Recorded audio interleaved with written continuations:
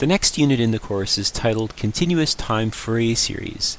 In this unit I'll begin by introducing a representation technique for periodic functions known as Fourier series and present a number of properties that Fourier series possess.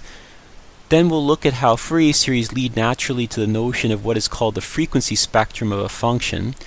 And in addition we'll also examine how Fourier series relate to linear time invariant systems. In the material that follows, we're going to be looking in detail at a mathematical tool known as continuous time Fourier series.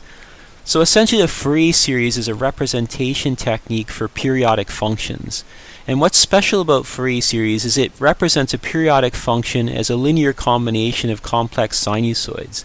And the reason why the choice of complex sinusoids is important is that complex sinusoids have a number of nice properties. They're always continuous, they're always differentiable, they're also easy to integrate and differentiate, but perhaps most importantly of all, complex sinusoids are eigenfunctions of LTI systems.